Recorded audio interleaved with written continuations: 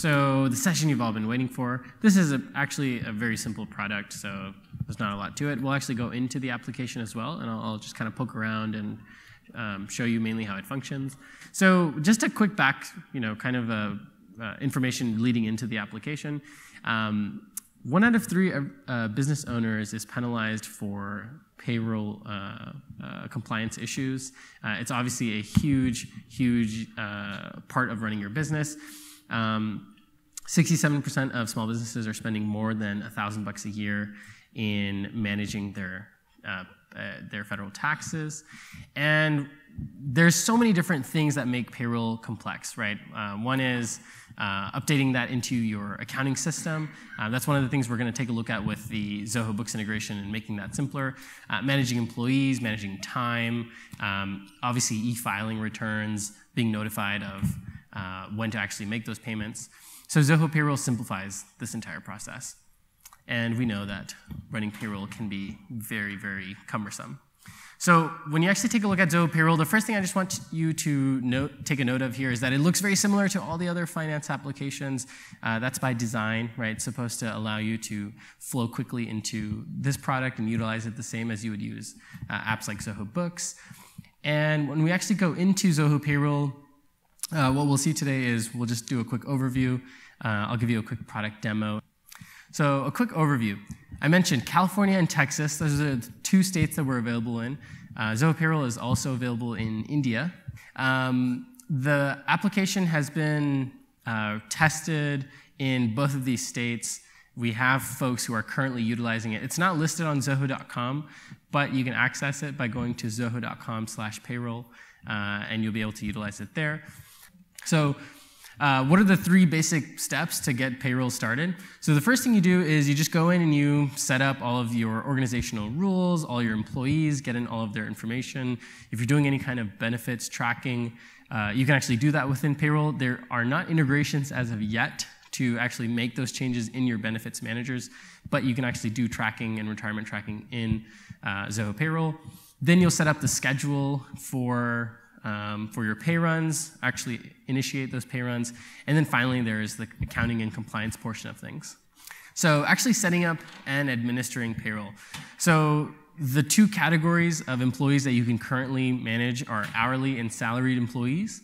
Um, first, you'll enter in employee details. These are very straightforward, right? So, entering in their number of deductions, um, what their um, um specific information is for their account, I'll see some of those options listed here. So in this case, we have how much they're getting paid, if we have any type of benefits tracking for their defined benefits, and then setting up their deductions.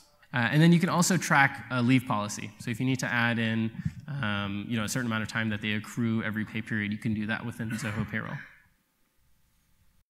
So you'll set up these tax details, so what their withholding allowances are, and if they want to have any additional withholding amounts.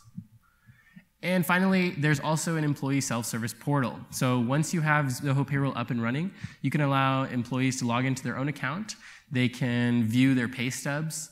Um, they can view uh, and change other critical information. Um, some of the things we'll do in enhanced updates later on in payroll uh, is add in um, some functionality you've seen in other uh, Zoho applications that give employees more options. But as of right now, you can access pay stubs as an employee. Here's what the employee dashboard would look like. So they can actually see uh, very quickly what their net pay is, how many hours they've worked, a summary of their pay slip. Um, they can also track um, uh, their pay time off. So if they need to request PTO, uh, that's something that uh, can be done uh, through the employee dashboard. And then additionally, you'll notice they have a profile that they can uh, view as well. Here's what that profile looks like and here are the pay stubs. All right, so let's look at schedules. So the first thing you'll do to run payroll, you'll simply input work hours. Um, you'll then uh, preview a summary, and then you just hit approve and pay. Um, so I actually have a family member who's on Zoho payroll in Dallas, and they have like eight employees, and it's pretty simple. Um, I've gone in, taken a look at it.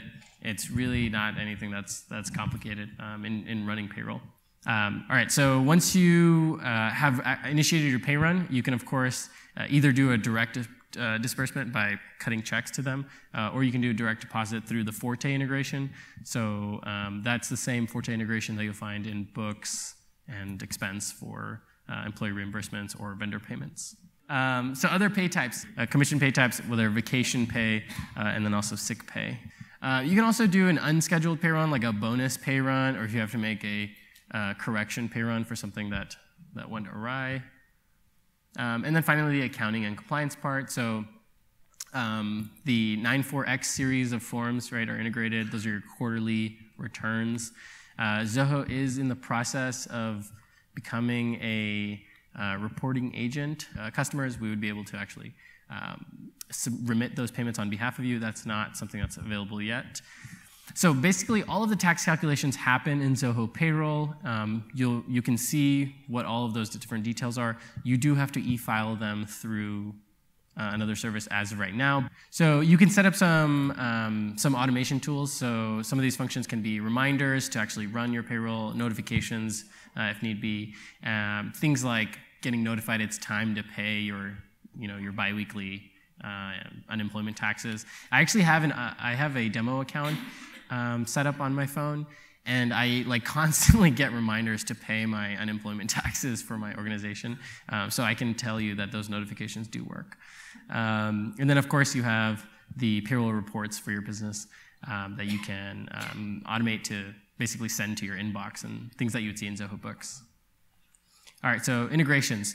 The main integration that, of course, we've talked about is the Zoho Books integration. So all this does is it uh, creates a journal entry into your Zoho Books account.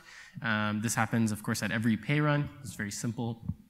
Um, all of the options that you've configured in your Zoho payroll account will uh, allow you to choose what account in your chart of accounts this is um, actually going into. So you do have that customizability there. All right, so other integrations.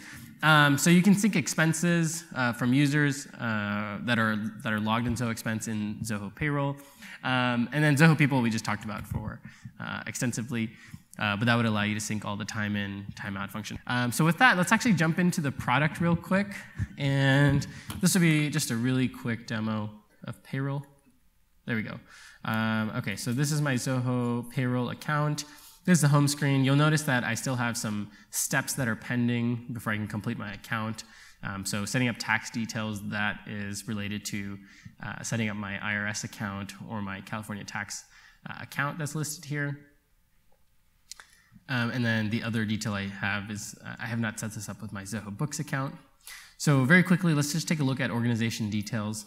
So you'll notice that a lot of this actually gets imported from your Zoho Books organization that you already have. So the name of the organization, the structure, all of this, the address. Then the third step here is configuring your pay schedule. So of course, the first time you actually set up this account, it's going to say, is this your first pay run of the year, or is this are you in the middle of the year? Um, so that actually allows you to set up when your uh, pay runs will begin. Um, once you have set up that schedule, there's a number of different schedules that you can set up. I can I can uh, edit this to show you. So whether it's every week, every other week, uh, twice a month, or once a month. You'll also notice that these are just the basic settings that I'm setting up here. Um, adding employees. So I can import my employees in a CSV file, uh, or I can simply add them individually here. When you add each employee, it's going to ask for all of their specific information. So you can choose to enable portal access for them, their compensation details. Um, and then as you go on, it'll ask for uh, all of the related information to run their payroll. Let's actually go into settings real quick to show you some of these other options. So if you have multiple work locations, you can actually manage those here inside of payroll. Of course, taxes we talked about a moment ago. Here's setting up my PTO policy. So of course, this is a California account that I have set up.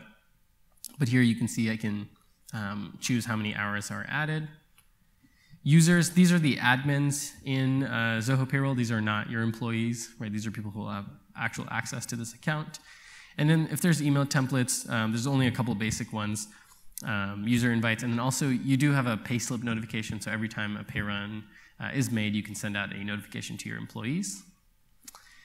And let's actually take a quick look at um, the, the benefits options here. So when you add a benefit, it asks you what are the different types of health plans that we have set up here. So you can choose between any of these. Again, I mentioned Zoho Payroll will track um, this information. So let's just do a do this. So and so you can go in and you can, of course, enroll employees into this and set up all of the uh, particulars for each employee related to this. So once I, so if I'm selecting this employee, I can choose whether it's a fixed amount or a percentage of their gross pay that's going to contribute to this um, defined benefit. And then finally, you have reports. So the general reports for the product are here at the top, payroll summaries, benefit summaries, et cetera. And then you have your tax summaries listed here, tax payment summaries. Um, of course, when you set up the integration, you get quite a bit more uh, with the 94X series coming in. And other than that, this product uh, is very similar in terms of um, where, where everything is placed, where settings are. So you really shouldn't have any issue. That's all we have for today. Thank you so much for joining us.